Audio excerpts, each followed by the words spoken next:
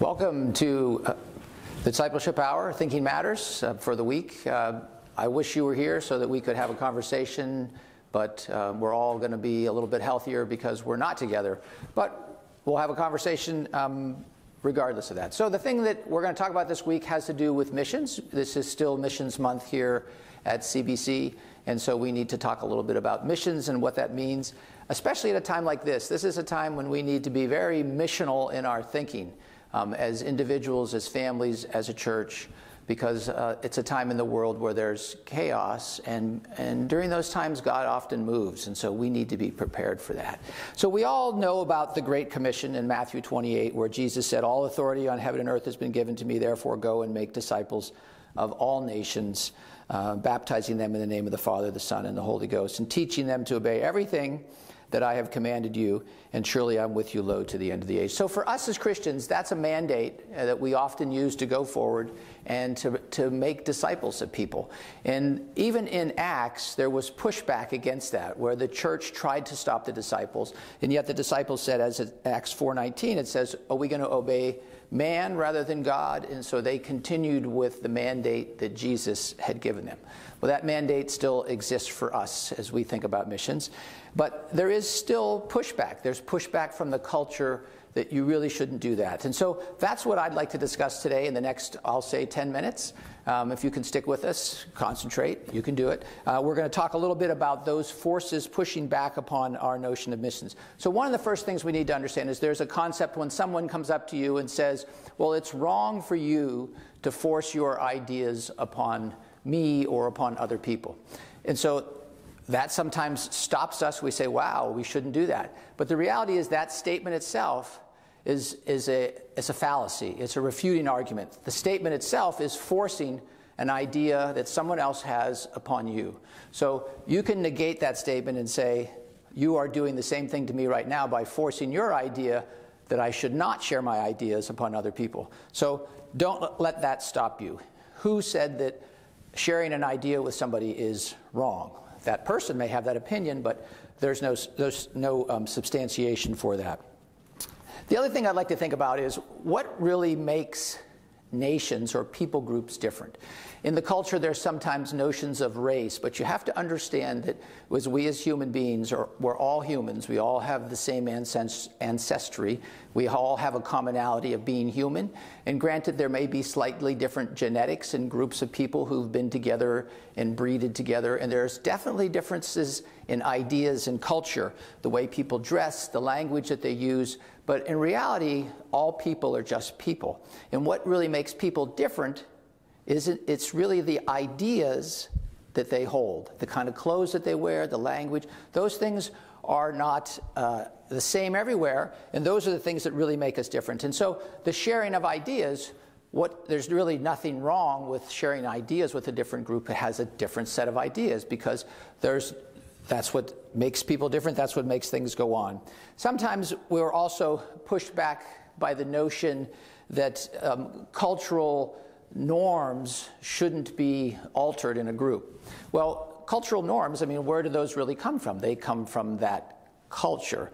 So, are we going to say that we should have just left Nazi Germany to their ideas? No, we all recognize those ideas as a bad idea, and so we, as a matter of fact, in very harsh ways, forced to stop those ideas because they were bad ideas. We never want to leave people in harm's way by bad ideas. And so, what ideas are, are going to be the idea? Well, if you're, I'll just say, a progressive who doesn't believe in God, then you have no absolute, and everybody's ideas are just their ideas because there's no ultimate idea out there if there's no God. And so then you could make the argument that it's all relative and who says their idea is better than another idea.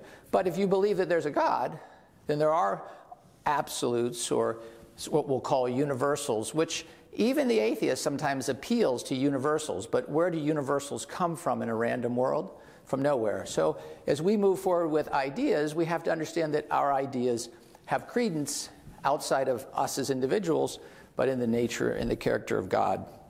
And so as we do mission work, what we're really doing are trying to share ideas with people, not to allow people in harm's way, ultimate harm of the wages of sin, but even short term harm sometimes in the way in which a people group may live or not live. You know, you have to understand that the notions of civilization really find their roots in Christian thinking. The fact that we wear clothes, for example, uh, that really comes out of when God clothed Adam and Eve. The fact that the way we deal with sexuality in ways like marriage, those ideas are good ideas, and you have to remember that those are Christian ideas. Those ideas don't exist in other places unless they've, I'll just say, actually been borrowed from Christianity.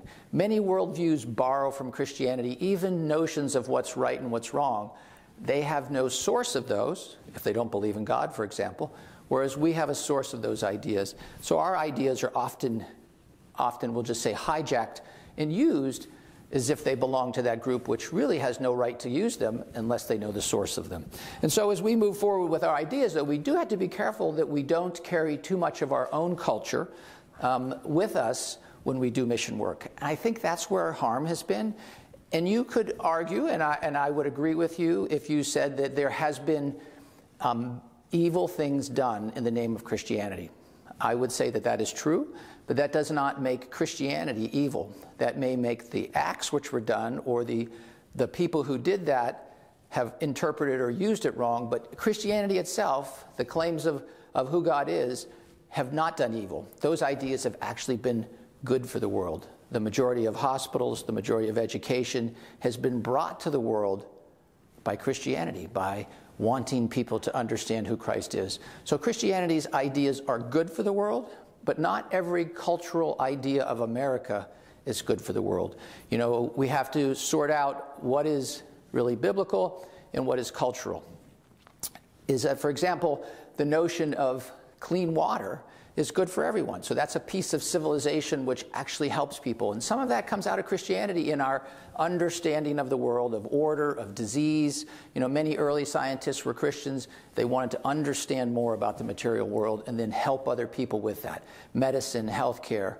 There are things which come out of a Christian worldview, which you might not see, for example, in other worldviews where cows might be sacred and people could starve and there is a cow Whereas we as Christians would say cows are not the same as people, they're not sacred, and they can be eaten. So ideas have to be sorted.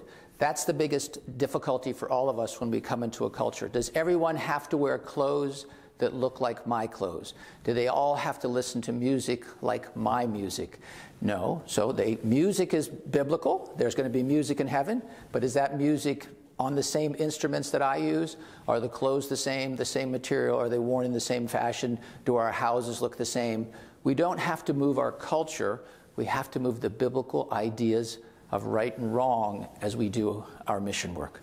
And so, for you as a family right now, in the midst of a corona crisis, I would, I would ask you to think about the fact that our ideas can be really helpful to stabilizing the world. To people's observation, the world is unraveling. And if you think that all the world is, is the culture that we have and the way of life that we have, then I would have to agree that it is kind of unraveling economically, healthcare, social structures. I'm talking to you by video, we're not together. Things are changing. But there are some things which are unchanging. Those are the things of God. Those are the things of the God who created all of creation and put it into motion and we were put in it, and we live, we make decisions. There are ramifications within the fallen world which affect all of us. But God, who's outside of that fallen world, is the same today and will be there tomorrow.